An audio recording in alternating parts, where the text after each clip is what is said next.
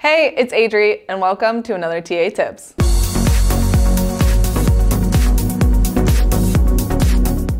Despite what people might tell you, finding good candidates isn't actually that difficult. Now, if you're looking for the people who that are going to change your business, the people that are going to be great cultural fits, and the people that are really going to be your best candidates, now that's where the challenge begins.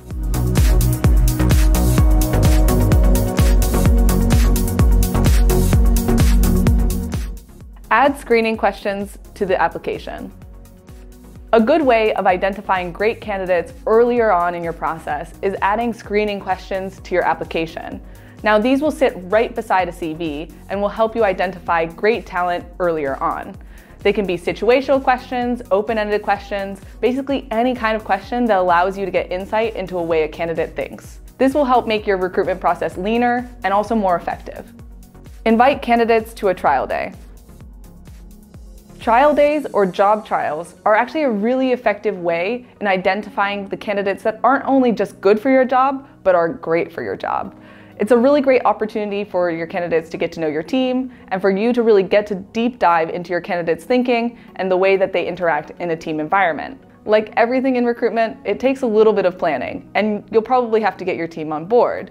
That being said, it's a really great way to really kickstart your relationship with any candidate who might be a future hire. Prepare unexpected questions that reflect your company culture. It's easy to get in the hang of using the same tired questions, Avoid these go-to questions like, where do you see yourself in five years? Give candidates a question that surprises them, maybe even tells them a little bit about who you are as a company. Aim for the questions that are unexpected to get honest reactions and also potentially actually gauge their interest in the position and your company. Involve your whole team in the hiring process.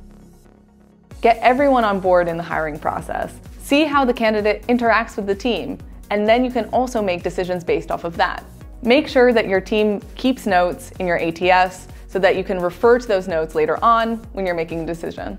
These are some of our tips to help you stop overlooking some of the hidden gems in your pipeline. You may need to adjust your recruitment strategy, but at least you'll be preventing some candidates from falling through the cracks. If you like this video, leave your comments below and don't forget to subscribe.